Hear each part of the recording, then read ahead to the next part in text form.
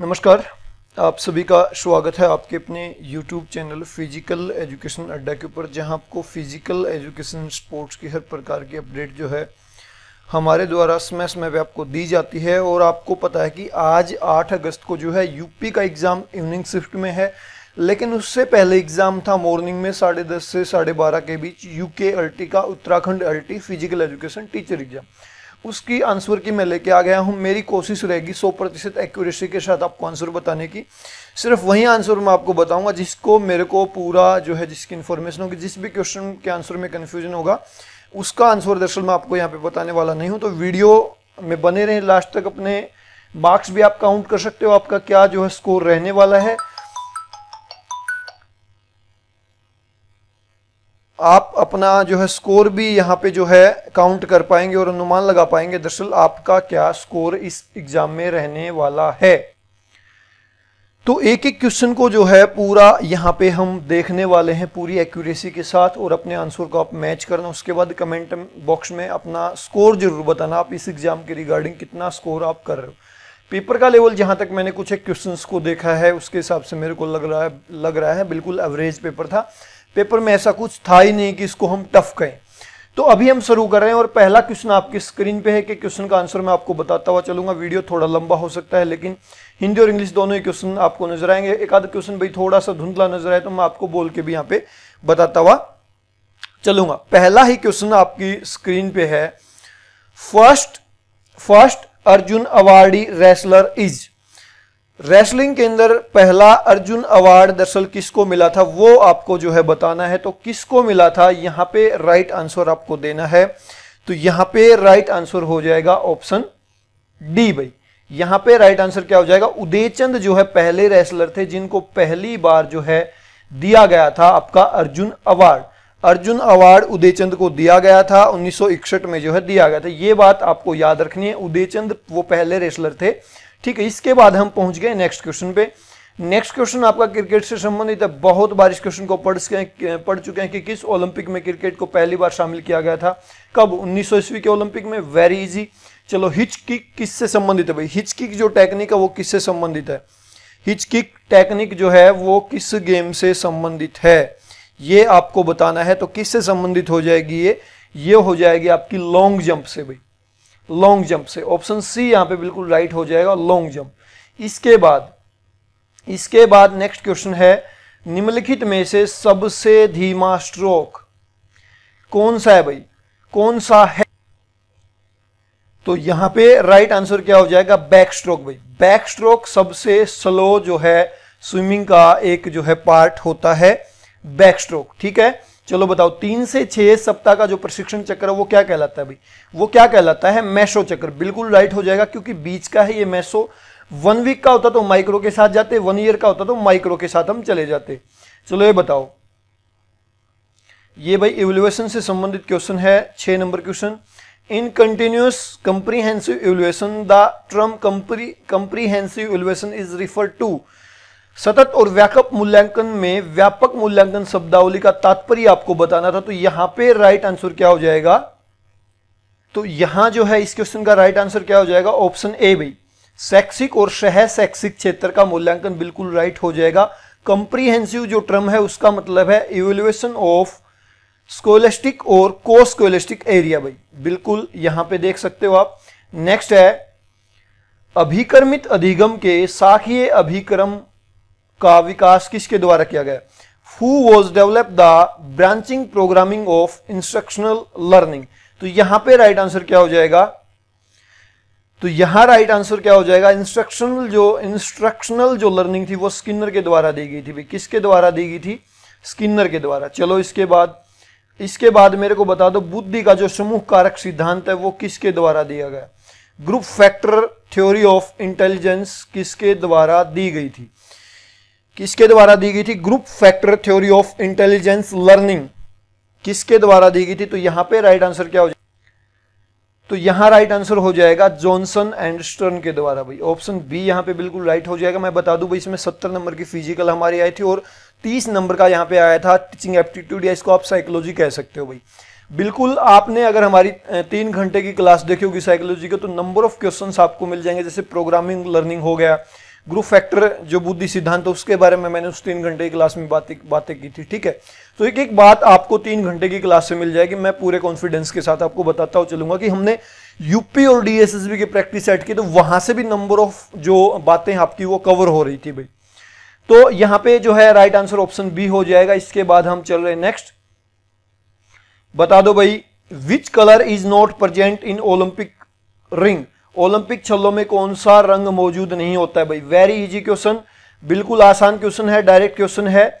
बिल्कुल आप इसका राइट आंसर जो बता सकते हो कि कौन सा कलर जो है, ओलंपिक छल्लों में जो है नहीं होता है। बिल्कुल आसान क्वेश्चन है, बिल्कुल आप जवाब दे सकते हो इसका। क्या हो जाएगा? भूरा ऑप्शन डी भाई. बाकी होता है नीला, पीला, काला, हरा, लाल, ये सारे होते हैं तो भूरा नहीं होता भाई। इसके बाद नेक्स्ट क्वेश्चन है जो बैडमिंटन की स्टोल, स्टल कोक होती है, उसमें दरअसल कितनी फीदर होते हैं, कितने पंख होते हैं भाई? ये बता दो। कितने होते हैं? वेरी इजी क्वेश्चन, सिक्सटीन होते हैं। बहुत आसान बात थी ये भी। तो 16 होते हैं। देख सकते हो कितना इजी पेपर बनाया गया है। मेरे ख्याल से अभी तक एक भी क्वेश्चन टफ नहीं आया भाई। अब नेक्स्ट क्वेश्चन है, देखते हैं उसमें कितना जो है दिया गया है टफनेस दी गई है। चलो बता दो भाई। Very easy question angular speed क्या है और दूसरा था on set command the sprinter is in set command में स्प्रिंटर कहाँ रहता है? तो पहले इसका बता दू भाई अनस्टेबल इक्विलिब्रियम में रहता है सेट कमांड के अंदर स्प्रिंटर बहुत बार इस क्वेश्चन को हम पढ़ चुके हैं भाई, बहुत बार। फीदर वाला भी पढ़ चुके हैं सोलह वाला। मतलब पीछे एक उदयचंद को छोड़ दे हम पहले जो रेसलर थे, जिनको द्रोणा वो दिया गया अर्जुन पुरस्कार। बाकी नंबर ऑफ़ क्वेश्चन हम स्टडी कर चुके हैं हमारी प्रैक्टिस सेट की सीरीज़ में। चलो देखते हैं। कौन ये चाल क्या है? कौन ये चाल दरअसल क्या है ये बताना था? तो इनके ऑप्शंस को आप स्टडी करोगे तो राइट आंसर को आप बता सकते हो। तो भाई दिए गए ऑप्शंस के हिसाब से, दिए गए ऑप्शंस के हिसाब से मेरे को यहाँ पे राइट आंसर बिल्कुल लग रहा है option A the rate of angular distance is called angular speed आपने कितना जो है दूरी तय की एंगुलर जो डिस्टेंस है कितना तय किया? इसके बटे में जब आप जितना समय लिया वो करोगे, अपॉन में करोगे तो एंगुलर स्पीड आ जाएगी। दिए गए ऑप्शंस के हिसाब से यही बनता है, क्योंकि रेखीय दूरी को आप नहीं मान सकते, कौन ये चाल?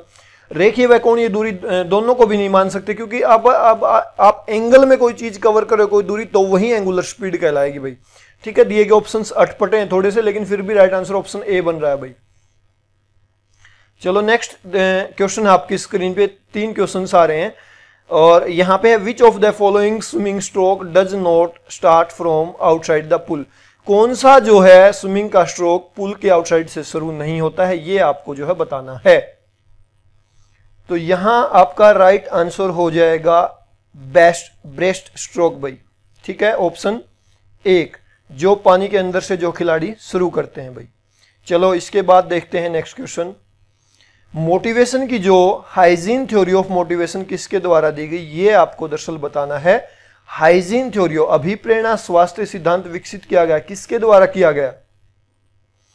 किसके द्वारा दिया गया सिद्धांत? हेजबर्ग के द्वारा दिया गया था। भाई ऑप्शन बी यहाँ पे बिल्कुल आपका राइट हो जाएगा।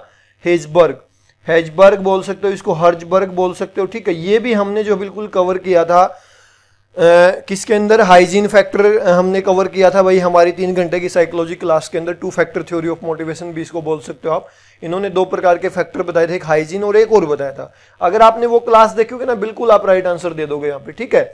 चलो बताओ learning plateau due to psycho physical limitation मनोशारीरिक सीमाओं के कारण बनने वाले अधिगम पठारों को क्या होता है? Easy to destroy can be destroy can not be destroy difficult to destroy right answer आपको चूज़ करना है। तो ये क्वेश्चन भाई मैं इस क्वेश्चन को यहीं पे छुड़वा रहा हूँ आपको, ठीक है? इस क्वेश्चन को हम जो है नहीं कर रहे, क्योंकि ये थोड़ा सा भाई टिपिकल टाइप मतलब क्वेश्चन है, सोचने वाला क्वेश्चन तो मैं गलत आंसर की बजाय इस क्वेश्चन को यहाँ पे छुड़वा रहा हूँ। बोर्ड के आंसर की आएगी तो हम इसको देखते हैं क्या आंसर देता है। चलो बताओ थ्रम्बोसाइट क्या होते हैं भाई? थ्रम्बोसाइट्स प्लेटलेट्स होते हैं, यहाँ पे ज़्यादा सोचने की ज़रूरत है नहीं। बहुत बार ये चीज़ें पढ़ चुके हैं भाई। चलो according to whom adjustment is the process by which a living organism maintains a balance between its need and circumstances that influence the satisfaction of their needs ये भाई डेफिनेशन आपको बतानी थी दरअसल कि इसके द्वारा दी गई तो इस क्वेश्चन को भी हम जो है ड्रॉप कर रहे हैं क्योंकि इसका आंसर भाई मैंने गूगल भी सर्च किया वहाँ पे सेफर कुछ करके दिखा रहा है तो इसका राइट आंसर जो है मेरे को मिला नहीं तो मैं इस क्वेश्चन को भी आपको छुटवा रहा हूँ, जो आपका ये क्वेश्चन है 24 नंबर क्योंकि ये भी जो है साइकोलॉजिकल साइकोलॉजी का क्वेश्चन है, और ये डेफिनेशन मेरे को ध्यान भी नहीं आ रही दरअसल। होगी इनमें से किसी की, लेकिन गूगल मैंने किया एट ए टाइम तो वहाँ पे नहीं मिली मेरे को भी ये। चलो नेक्स्ट बता दो which one of the following is not a grand slam tennis championship तो ग्रैंड स्लेम टेनिस चैंपियनशिप कौन सी नहीं है? स्वीडस ओपन जो है भाई, कोई भी ग्रैंड स्लेम नहीं होती, बाकी तीनों ग्रैंड स्लेम के अंदर शामिल रहती हैं भाई। इतनी बात आपको समझ आ गई। चलो ये बता दो, अब नेक्स्ट क्वेश्चन मनोविज्ञान फ्राइड मनुष्य के भीतर किसे मानता है? Psychologist Freud considered what man within man तो यहाँ पे आपको राइट right आंसर बताना है। ये चीज़ भी हमने साइकोलॉजी की क्लास में दरअसल कवर की थी। तो फ्राइड ने जो थ्योरी दी थी ना, उसमें तीन बातें बताई थी। तीनों ऑप्शन में दे रखी भाई। सुपर ईगो परम अहम ईड ईगो सुपर ईगो का मतलब इस इन्होंने बताया था कि ये जो है ये मान लो कि आ, आम आदमी से ऊपर की बातें हो जाती हैं भाई भगवान आदमी हो जाता है अगर इस सिचुएशन में चला जाता है। ईड होता है जानवर एक प्रकार का मतलब मनुष्य के अंदर एक प्रकार का जानवर हो भाई। ईगो एक बीच की सिचुएशन बताई थी इन दोनों के बीच की तो यहाँ पे राइट आंसर मेरे अकॉर्डिंग ईगो होगा क्योंकि आदमी तभी बनता है जब वो सभी चीज़ों के बीच बैलेंस बना के चले भाई संतुलन बना के चले। ठीक है, संतुलन बना के चले, वही आदमी होता है।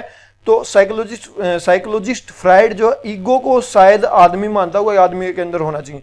क्योंकि सुपर ईगो होगा तो भी वो आम आदमी से ऊपर उठ गया अरे ईड है तो भी वो पशु है। तो यहाँ पे राइट आंसर ऑप्शन सी भाई। देखते हैं बाकी बोर्ड क्या करता है। चलो, किस मसल को आप टेलर मसल का होगे भाई? कुछ था ही नहीं क्वेश्चन के अंदर। बहुत बार इस क्वेश्चन को पढ़ चुके हैं सार्टोरियस को। Very easy question direct question अच्छा टेबुलर मेथड जो होता है, वो किससे संबंधित है भाई? टेबुलर जो विधि है गेम करवाने की, वो किससे संबंधित है? जल्दी से बता दो भाई। तो किसके अंदर यूज़ होता है भाई? टेबुलर विधि होती है, लीग टूर्नामेंट के अंदर यूज़ होती है। टेबुलर विधि, ये आपको जो है बात याद रखनी है। इतनी बात आपको समझ आ गई तो हम आगे जो है बढ़ सकते हैं भाई। इसके बाद हम चलेंगे नेक्स्ट क्वेश्चन के ऊपर। From the following an injury to ligament आपको बताना है कौन सी जो है इंजरी लिगामेंट की इंजरी है लिगामेंट की इंजरी कौन सी है? तो स्प्रेन है, सीधी सी बात है मोच। मोच को आप जो है लिगामेंट की इंजरी कह सकते हो। अगर टेंडन पूछा होता तो स्ट्रेन हो जाती भाई। ठीक है? चलो, ये बता दो अब। Time taken by the body to reach maximum speed is called शरीर द्वारा उच्च गति तक पहुँचने का समय है। क्या कहलाता है भाई? क्या कहलाता है? शरीर द्वारा उच्च गति तक पहुँचने का समय maximum reach maximum speed is called ये कहलाएगी भी एक्सलरेशन एबिलिटी आप धीरे धीरे बॉडी को एक्सलरेट कर रहे हो और मैक्सिमम स्पीड तक जा रहे हो। क्या कहलाएगी एक्सलरेशन एबिलिटी चलो action research has the limitation action क्रियात्मक शोध का सीमांकन होता है। कैसे होता है? रिसर्च से संबंधित क्वेश्चन है भाई। तो इस क्वेश्चन को भी हम छोड़ रहे हैं भाई, यहीं पे एक्शन रिसर्च वाले को, क्योंकि ये थोड़ा सा ये भी कंफ्यूजिंग क्वेश्चन है। तो यहाँ पे मैं ढूंढ रहा था, मेरे को इसका भी राइट आंसर मिला नहीं भाई। बाद में मिलता है तो मैं बताता हूँ आपको। चलो री इन्फोर्समेंट थ्योरी बता दो, किसके द्वारा दी गई? प्रबलन का सिद्धांत किसके द्वारा दिया गया? भाई, जल्दी से बता। किसके द्वारा दी गई? स्किनर के द्वारा दी गई। ये बात भी हम पढ़ चुके हैं तीन घंटे की अपनी क्लास में साइकोलॉजी की क्लास में, अगर आपने देखी होगी तो। चल, चलो नेक्स्ट बताओ। डेविस के अनुसार शिक्षण अधिगम प्रक्रिया का सही क्रम बताना है। भाई, ये भी आपका साइकोलॉजी टीचिंग एप्टीट्यूड से संबंधित। According to the Davis the correct series of teaching learning process तो यहाँ राइट आंसर क्या हो जाएगा? देखो देखो, वैसे यहाँ पे कुछ, ज़्यादा कुछ करने की ज़रूरत है, थी नहीं। सबसे पहले प्लान करोगे, आप प्लान करोगे, फिर ऑर्गेनाइजिंग करोगे, फिर लीडिंग अच्छा यहाँ पे थोड़ा सा कंफ्यूजिंग है। एक मिनट भाई, रुको एक मिनट यहाँ पे थोड़ा सा समझना पड़ेगा। तो यहाँ राइट आंसर ऑप्शन ए आपका हो जाएगा भाई। प्लान करोगे ऑर्गेनाइज करोगे लीड करोगे कंट्रोल करोगे। ठीक है ऑप्शन ए ज़्यादा कुछ यहाँ पे था नहीं समझने का। ऑप्शन ए यहाँ पे बिल्कुल थर्टी थ्री में बिल्कुल जो है राइट आंसर आपका हो जाएगा भाई। ऑप्शन ए ठीक है, हिंदी में भी देख सकते हो, नियोजन करना, व्यवस्था करना अग्रसरण करना और नियंत्रण करना। चलो नेक्स्ट बता, देखते हैं कि कितनी बाई दी जाएँगी। अगर टीम में उन्नीस हो तो बताना है भाई आपको। अगर एक टूर्नामेंट में उन्नीस टीमें भाग रही तो कितनी बाई दी जाएँगी? तो यहाँ पे कुछ ज़्यादा सोचने का था ही नहीं। तेरह बाई दी जाएँगी भाई। चलो नेक्स्ट बताओ। हाउ बताना क्या भाई? मैं ही बताता हूँ आपको। How many focus group was were formed to prepare national curriculum framework 2005 तो ये भी आपका टीचिंग एप्टीट्यूड से संबंधित क्वेश्चन है तो इसको भी थोड़ा सा देखना पड़ेगा भाई, थोड़ा सा। तो यहाँ राइट आंसर हो जाएगा भाई 21 21 जो है फोकस ग्रुप थे, जो बनाए गए थे भाई 21 चलो नेक्स्ट पे चलते हैं, फिर टीचिंग एप्टीट्यूड से संबंधित क्वेश्चन है।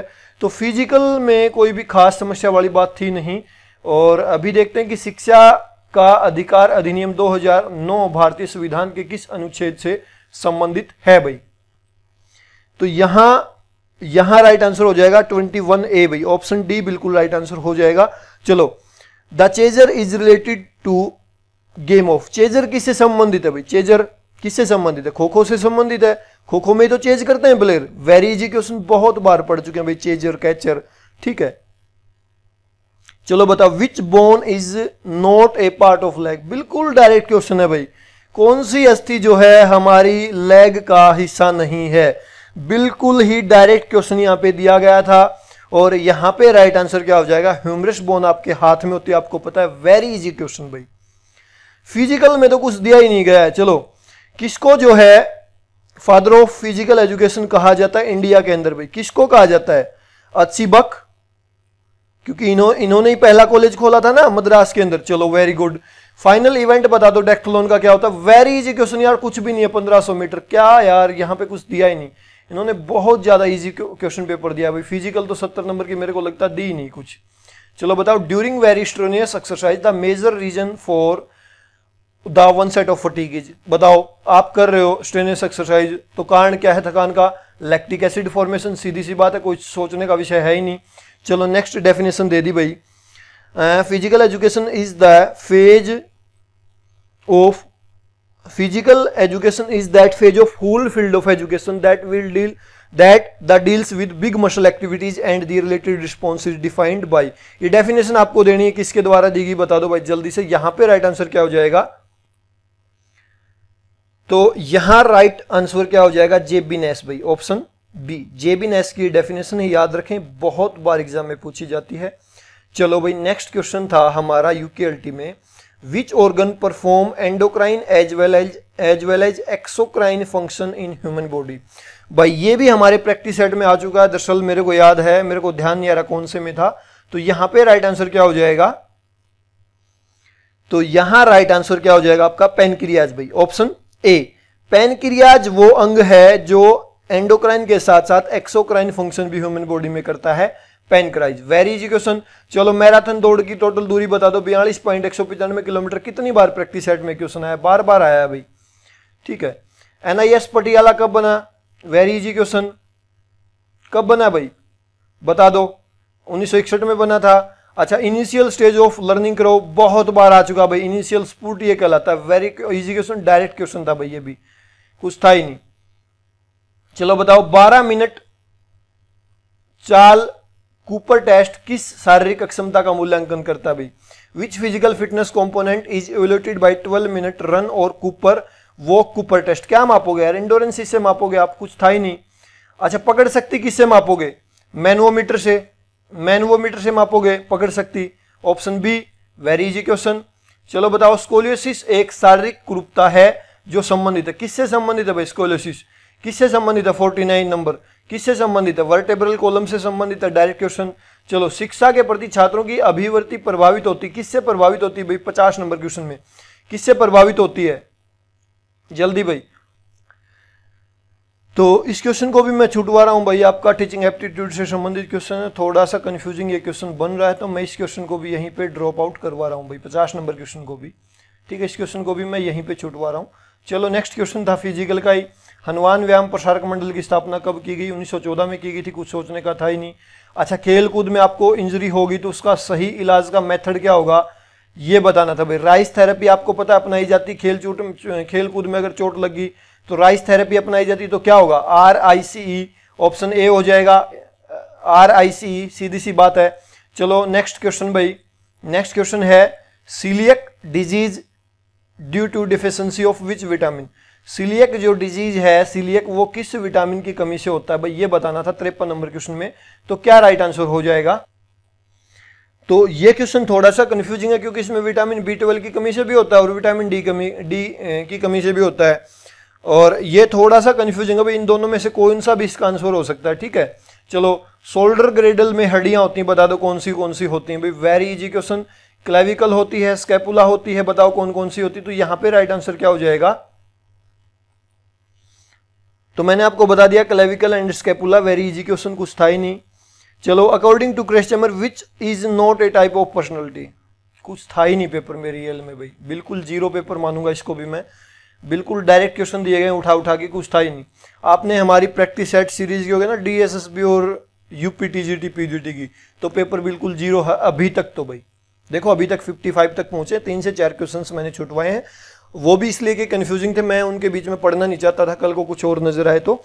तो कौन से टाइप बाइकर चैम्बर के द्वारा नहीं दिया गया इंट्रो इंट्रोवर्ट नहीं दिया गया था, क्योंकि ये दिया गया था जूम के द्वारा। तो यहाँ पे कुछ था ही नहीं। नेक्स्ट क्वेश्चन है आपकी स्क्रीन पे आफर्ड की फुल फॉर्म बतानी थी भाई। आफर्ड की फुल फॉर्म आपको पता है American Alliance of Health Education तो आफर्ड की फुल फॉर्म भाई सोचना पड़ेगा थो, थोड़ा सा मेरे को यहाँ पे देखना पड़ेगा। तो यहाँ पे राइट आंसर क्या हो जाएगा भाई? American alliance for health physical education recreation and dance भाई ऑप्शन बी बिल्कुल राइट आंसर हो जाएगा। चलो कांट किस शब्द में यूज़ किया जाता है भाई? किसमें? कबड्डी में यूज़ किया जाता है। ठीक है, कांट शब्द। किसमें यूज़ किया जाता है? कबड्डी में।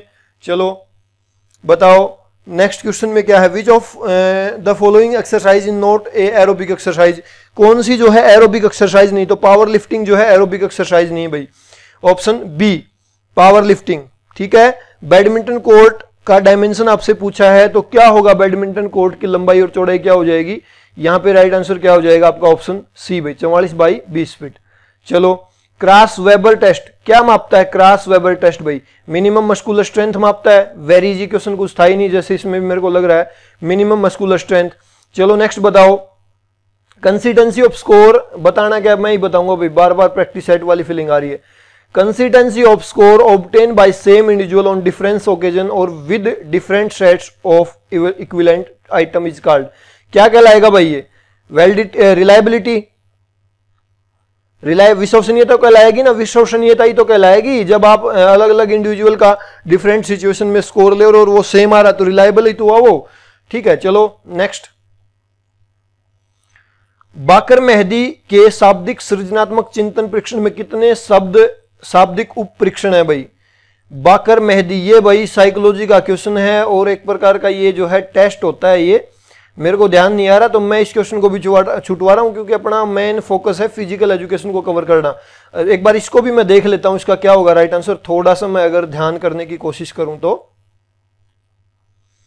तो यहाँ राइट आंसर हो जाएगा भाई ऑप्शन डी बिल्कुल। चार जो है दिए गए हैं, मेरे को ध्यान आ गया तो चार यहाँ पे राइट आंसर आ जाएगा। फोर चलो नेक्स्ट किसके अनुसार विकास परिवर्तनों की वह श्रृंखला है जिसमें जीव भूर्ण अवस्था से परिपक्वता की अवस्था तक पहुँचता है? भाई, ये भी थोड़ा सा सोचने का क्वेश्चन है। एक मिनट का समय लेना पड़ेगा। तो इस क्वेश्चन को भी मैं छुटवा रहा हूँ भी 63 नंबर को। हम चलते हैं नेक्स्ट नेक्स्ट क्वेश्चन है। चौसठ नंबर देख लो। सीखना आदतों, ज्ञान व अभिवृत्तियों का अर्जन है। किसने कहा था भाई ये?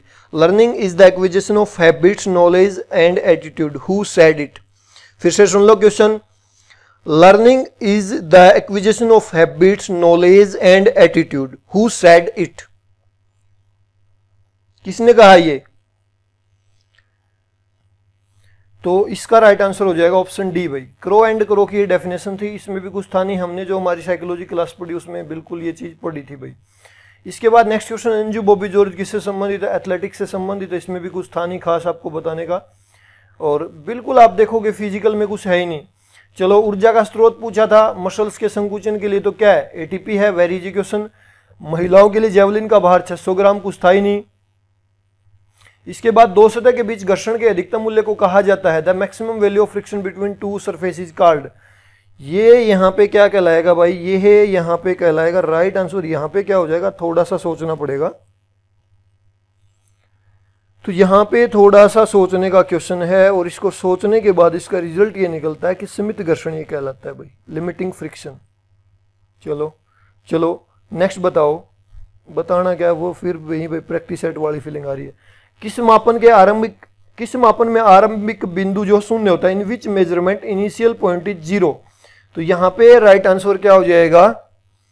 In which measurement initial point is zero तो यहाँ पे भी थोड़ा सा समझने का क्वेश्चन है तो यहाँ पे राइट आंसर क्या हो जाएगा? तो 69 के उस नंबर क्वेश्चन को भी मैं छुटवा रहा हूँ भाई, इसका आंसर मैं आपको नहीं बता पाऊँगा। चलो। और यहाँ पे राइट आंसर क्या होगा भाई? मानसिक दवंदों की स्थिति में किया गया समायोजन है? Adjustment during mental conflict is तो यहाँ पे राइट आंसर क्या हो जाएगा? तो यहाँ पे भाई यहाँ पे दिए गए ऑप्शंस के हिसाब से राइट आंसर ऑप्शन ए बनता हुआ नज़र आ रहा है सव समायोजन। चलो नेक्स्ट क्वेश्चन डायरेक्ट क्वेश्चन है, राजकुमारी अमृत कौर कोचिंग स्कीम कब लागू की गई? 1953 में ऑप्शन डी भारत में बास्केटबॉल खेल में पहली महिला अर्जुन पुरस्कार विजेता कौन थी भी तो यहाँ पे राइट आंसर क्या हो जाएगा? In India first women Arjun award in basketball is तो यहाँ पे राइट आंसर आपका हो जाएगा सुमन शर्मा ऑप्शन बी भाई। ठीक है? चलो नेक्स्ट चलते हैं।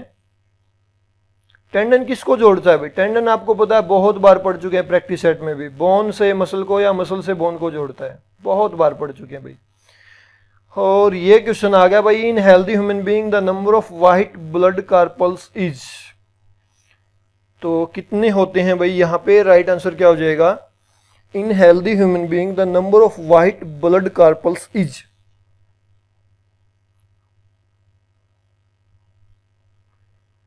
तो यहाँ पे राइट आंसर जो मेरे को लग रहा है तो जो ओवरऑल गूगल आप देखोगे तो 4500 से 11000 के बीच दिखा रहा है भाई पर क्यूबिक मीटर अब यहाँ पे दिए गए ऑप्शन के हिसाब से तो नन ऑफ़ दीज नज़र आ रहा है मेरे को। लेकिन नियर बाय भी कई बार ले लेते हैं तो वो देखने वाली बात होगी, क्या लेते हैं? पाँच से नौ हज़ार आपका राइट आंसर यहाँ पे हो सकता है भाई। तो यहाँ पे क्लियर कट राइट आंसर मेरे को नज़र नहीं आया। अब देखना दिलचस्प होगा बोर्ड क्या मानता है भाई। चलो negative transfer of learning is known as negative transfer of learning को क्या कहा जाता है भाई? क्या कहोगे? आदत, हस्तक्षेप के रूप में। क्या कहोगे? ऑप्शन सी यही तो करेगा, तभी तो नेगेटिव होगा ना, आदत कोई बीच बीच में आ रही आपकी। ठीक है? चलो internal load is judged by internal internal load को आप कैसे जज करोगे? कैसे? लैक्टिक एसिड कंसेंट्रेशन के द्वारा जाँच सकते हो ना? ठीक है? इसके बाद which one is also known as speed play fartlek play fartlek training बोल सकते हो स्पीड प्ले को भाई। चलो नेक्स्ट बताओ। और ये भी भाई मैं क्वेश्चन छुटवा रहा हूँ सेवेंटी एट नंबर क्वेश्चन इस क्वेश्चन को भी छुटवा रहा हूँ ये। भी थोड़ा सा अटपटा क्वेश्चन है ये भी टीचिंग एप्टीट्यूड से संबंधित क्वेश्चन है पाँच से छह क्वेश्चन छूट जाएँगे कोई बड़ी बात नहीं है। सारे ही टीचिंग एप्टीट्यूड से संबंधित मिलेंगे भाई। चलो रा, Rani Jhansi trophy is associated with which game Rani Jhansi trophy is associated with which game तो ये किससे संबंधित है भाई? क्रिकेट से संबंधित। ऑप्शन सी राइट हो जाएगा। डिस्कुलेलिया किससे संबंधित है? ये भाई आपका understand to disease poor dyscalculia math से संबंधित होता है भाई, ये पक्का है डिस्कुलेलिया तो ये अंडरस्टैंड टू डिज़ीज़ अंकों को समझने में असमर्थता होना भाई, गणित से संबंधित होता है, ठीक है? चलो नेक्स्ट चलते हैं। In in to how many stages has Kolesnik divide the stage of human development एक बार फिर से क्वेश्चन को पढ़ना पड़ेगा। In how many stages has Kolesnik divide the stages of human development तो यहाँ पे राइट आंसर हो जाएगा एट स्टेज भाई ऑप्शन सी चलो, मिताली राज किससे संबंधित है? क्रिकेट से संबंधित है? डायरेक्ट क्वेश्चन था, कुछ था ही नहीं। चलो, निम्नलिखित में से पेन होल्डर ग्रिप किससे संबंधित है? पेन होल्डर ग्रिप किससे संबंधित है भाई? पेन होल्डर ग्रिप समझने वाली बात है भाई। From the following sports pen holder grip is related to तो यहाँ आपका राइट आंसर क्या आ जाएगा? ऑप्शन सी भाई। टेबल टेनिस से यह संबंधित है दरअसल। टेबल टेनिस से संबंधित। याद रखने की बात, हमारे सामने नया क्वेश्चन है, बिल्कुल। चलो, इसके बाद है next question according to Travers attitude means तो यहाँ राइट आंसर क्या हो जाएगा? हमारा यहाँ पे राइट आंसर भाई, देखना पड़ेगा। थोड़ा सा ये जो टीचिंग एप्टीट्यूड के क्वेश्चन है ना, ये थोड़े से समझने की ज़रूरत है। तो भाई, इसको भी मैं छुटवा रहा हूँ भाई। चलो नेक्स्ट बताओ हिप ज्वाइंट किसके वर्गीकृत के अंदर आएगा? बाल एंड सॉकेट ज्वाइंट बोल सकते हो हिप ज्वाइंट को आप। वेरी इजी क्वेश्चन पिचासी नंबर क्वेश्चन भी बिल्कुल ईजी था भाई, कुछ था ही नहीं क्वेश्चन में। चलो इसके बाद। Hang technique is related to with hang technique किससे संबंधित है भाई? Hang technique is related to with which game तो यहाँ राइट आंसर क्या हो जाएगा भाई? लॉन्ग जंप कहीं ऑप्शन में है तो हैंग टेक्निक लॉन्ग जंप से संबंधित संबंधित भाई लॉन्ग जंप बड़े आसान क्वेश्चन आए हुए थे यार। चलो नेक्स्ट क्वेश्चन आप हिंदी में आपको स्पष्ट दिख रहा होगा इंग्लिश में देख लो। What are the what are the total number of test item in Kraus Weber strength test फिर से आप सुन लो क्वेश्चन थोड़ा सा अगर धुंधला नज़र आए तो। What are the total number of test items in the Kraus Weber strength test तो यहाँ राइट आंसर क्या हो जाएगा? सिक्स भाई। ऑप्शन सी सिक्स बिल्कुल राइट हो जाएगा। देख सकते हो कितना आसान आया था। चलो मैं नेक्स्ट क्वेश्चन भी छूटवा रहा हूँ। भाई टीचिंग एप्टीट्यूड से संबंधित है। अगर मैं इसको करवाना चाहूँ आपको the correct series of micro teaching activity is तो यहाँ राइट आंसर दरअसल क्या हो जाएगा? यहाँ भाई थोड़ा सा रुकना पड़ेगा। पाठ योजना टीचिंग फीडबैक रिप्लानिंग सबसे पहले तो प्लानिंग होगा। ये पक्का है भाई। सबसे पहले प्लानिंग होता है जहाँ तक मेरे को ध्यान आ रहा है। लेकिन मैं इस क्वेश्चन को छूटवा रहा हूँ भाई। नेक्स्ट क्वेश्चन हम कर रहे हैं भाई। Next question 89 number which of the following hormone is secreted in the human body at the time of stress stress के समय जो है, कौन सा हार्मोन जो रिलीज़ करती है body which of the following hormone is secreted in the human body at the time of stress तो यहाँ पे राइट आंसर भाई क्या हो जाएगा? थोड़ा सा रुकना पड़ेगा हमें। हाँ, वैसे तो अगर हमारा हार्मोन अगर देखें मैंने जो पढ़ा है कोर्टिसोल होता है स्ट्रेस हार्मोन लेकिन यहाँ पे थोड़ा सा टाइम लेना पड़ेगा। और देखना पड़ेगा यहाँ पे कौन सा राइट आंसर जो है बन रहा है भाई। दिए गए ऑप्शन के हिसाब से तो कौन सा भी भाई यहाँ पे राइट आंसर जो है नहीं बन रहा है। और वही ऑप्शन निकल के आ रहा है कोर्टिसोल वो ऑप्शन में है नहीं। तो इस क्वेश्चन को भी मैं कंफ्यूजिंग मान के छोड़ रहा हूँ आपका, ठीक है? चलो 110 मीटर हर्डल में नंबर ऑफ़ हर्डल्स बता दो, कितनी होती है? दस होती हैं, चाहे आप दस बाग लो, चाहे चार सौ बाग लो, कितना ही भाग लो हर्डल में। चलो which intelligence is required to understand the understand and the use of word number and formulas शब्द अंक और सूत्रों को समझने के लिए कौन सी बुद्धि आवश्यक है भाई? कौन सी बुद्धि आवश्यक है? थोड़ा सा अटपटा क्वेश्चन एक बार फिर देख लो। Which intelligence is required to understand and use of words number and formulas तो इस क्वेश्चन को भी मैं छुटवा रहा हूँ भाई यहीं पे और नेक्स्ट चलते हैं नोकनी इज़ नोन नोन एज नोकनी का दूसरा नाम पूछा है भाई नोकनी इज़ नोन एज तो यहाँ पे आपका राइट आंसर हो जाएगा जेनू वेलगम भाई ऑप्शन ए बिल्कुल राइट हो जाएगा। नेक्स्ट है हार्वर्ड स्टेप टेस्ट किसके द्वारा डेवलप किया गया? Harvard step test was developed by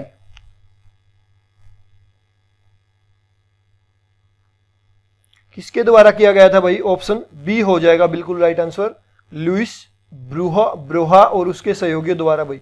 option B आप देख लेना, ये राइट हो जाएगा।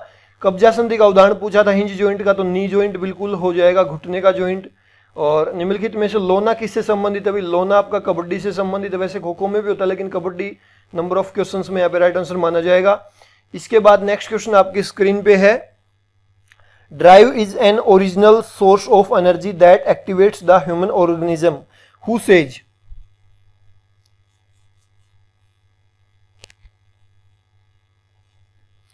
तो ड्राइव थ्योरी किसके द्वारा दी गई थी भाई? ये थोड़ा सा आपका जो है थोड़ा सा कंफ्यूजिंग क्वेश्चन है। मेरे को लगता है ये भी मैं आपको छुटवा देता हूँ भाई, ठीक है? चलो नेक्स्ट के ऊपर चलते हैं। बैटन किसमें यूज़ की जाती है? रिले रेस में डायरेक्ट क्वेश्चन है, इससे आसान क्वेश्चन आपके एग्ज़ाम में आ नहीं सकता। चलो नेक्स्ट वो ड्रग बताओ जो आपके सेंट्रल नर्वस सिस्टम को उत्तेजित करता है तो एम्फेटामिन हो जाएगा ऑप्शन डी भाई सेंट्रल नर्वस सिस्टम को जो डायरेक्टली उत्तेजित करेगा। और the Kunzru committee was established in which year? The kunjuru committee was established in which year?